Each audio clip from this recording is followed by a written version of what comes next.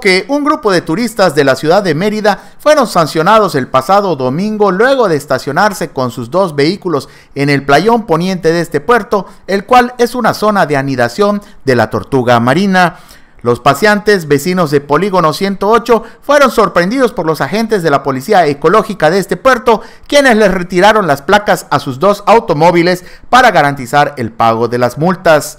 La acción de los agentes fue reprobada por los turistas meridanos, quienes lo consideraron como un abuso de autoridad y exceso de la fuerza, especialmente porque afirmaron que en medio de los jaloneos también intentaron detener a una tercera persona que se retiraba en moto de la playa y ocasionaron que se caiga de su unidad con todo y su pequeña hija, la cual sufrió algunos golpes. Los hechos generaron críticas en todos los sentidos, tanto a favor de los visitantes como de la policía y viceversa, a pesar de que los propios paseantes reconocieron su error y señalaron que en su próxima visita tendrán muy en cuenta no estacionarse en esta zona que está restringida para el tránsito de vehículos.